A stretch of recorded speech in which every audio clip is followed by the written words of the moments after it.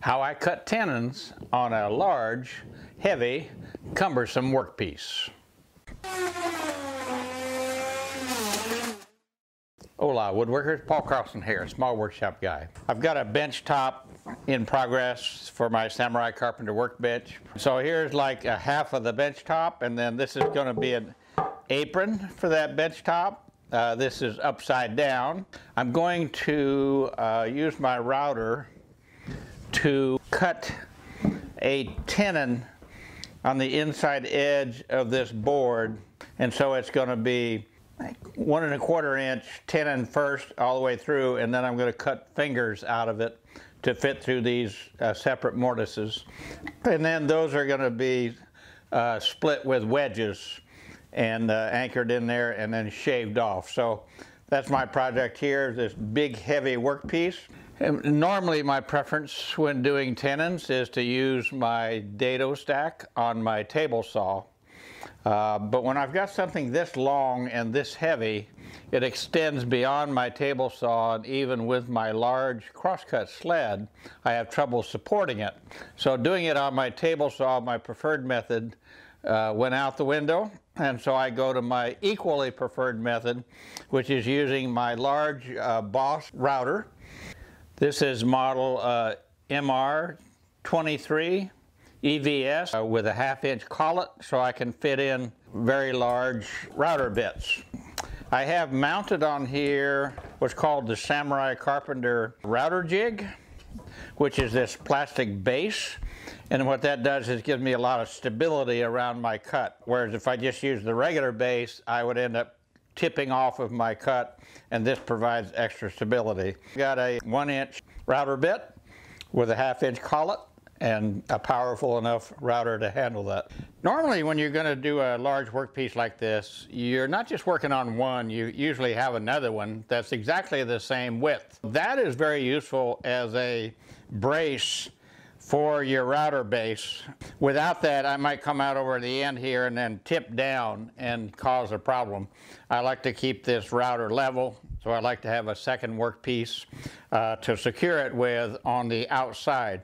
I want to have a limit on how far my router goes here to the right into the workpiece uh, because I only want the router to come up to this line Now I want the distance between this line and a line at the other end to be very precise. So uh, I don't like to go over it, obviously. That would be a little hard to put the wood back.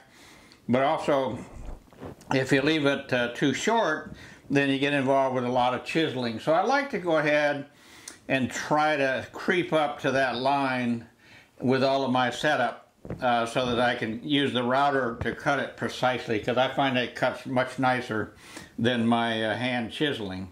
Now, make sure you're unplugged. Last thing you want to be doing is grabbing hold of this router bit while you accidentally press an on button or something. So I'm going to get that over uh, where my line is. I've got my good prescription glasses on. I rotate that bit so that I can see at the outside of its cycle that is not going to go over the line. Sometimes you go to line it up and you don't have the outer edge of the bit uh, down there. I even have a little bit of trouble with my eyesight, so I keep a nice handy flashlight always available right on my tool wall. Check to see that this is square across here.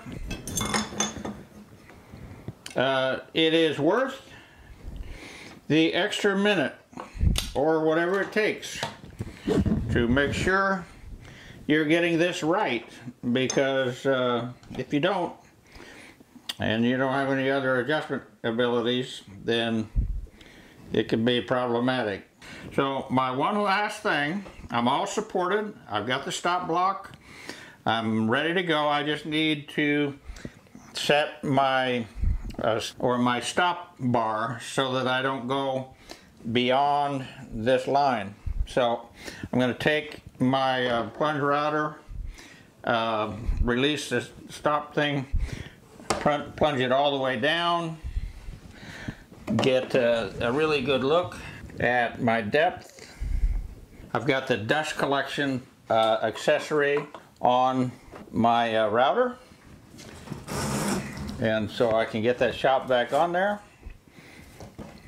I want to get it so it doesn't restrict my movement.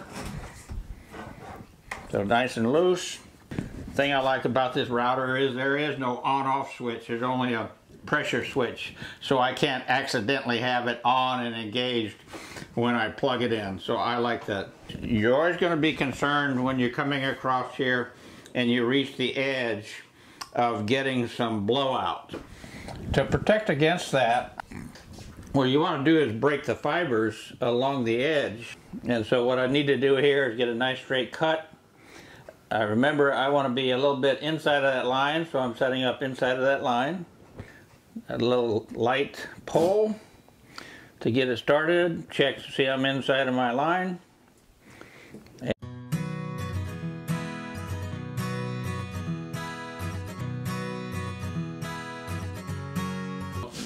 That whole exercise there was to avoid uh, tear out.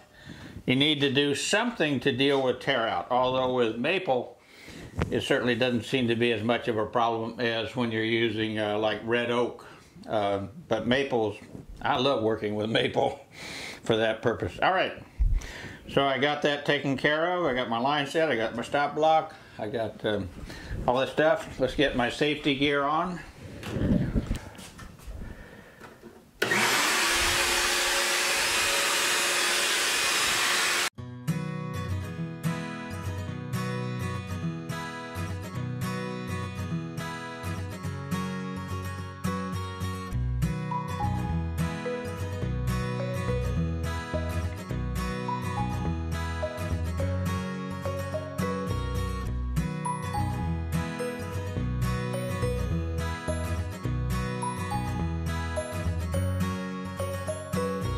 When we're all done, here's what we have ended up with. We've cut away using the with large router bit.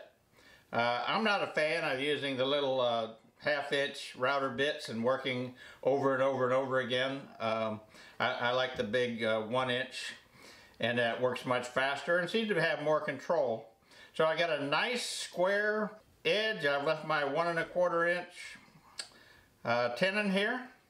In this particular case, I've drilled using my benchtop mortiser uh, two relief holes so that I can now work on cutting out the fingers. I could have done this in other ways. There's always multiple ways to skin the cat. If you have a large resaw blade on your bandsaw, there's nothing that would keep you from pushing this across the blade on the bandsaw and cutting this uh, nice straight line as long as your blade's not traveling. And then also you could go with the bandsaw this way. And if all you have is a, a saw, hand saw, there's nothing that says with enough uh, time and effort that you couldn't just cut a nice straight line across you know, for the depth that you need on the cheek. And then turn that. But, uh, and then I can, with enough time and effort, I can cut this and cut out this uh, waste area just with a handsaw. So there are other ways to do it. I'm working on another video for tricks tips and techniques of getting these triple split tenons or wedge tenons to fit very, very tightly in my uh, mortises, and so uh, look for that. So the bottom line here is that one of my preferred methods of cutting a large tenon in a heavy, cumbersome workpiece is to use my plunge router uh, with all of the stabilization and all of the uh, stop blocks as demonstrated. I hope you find that helpful. I would appreciate it if you could give me a uh, like, maybe even a comment, and uh, a share. That would be very much appreciated. If you haven't subscribed, be sure you do that as well. Small Workshop Guy, signing off.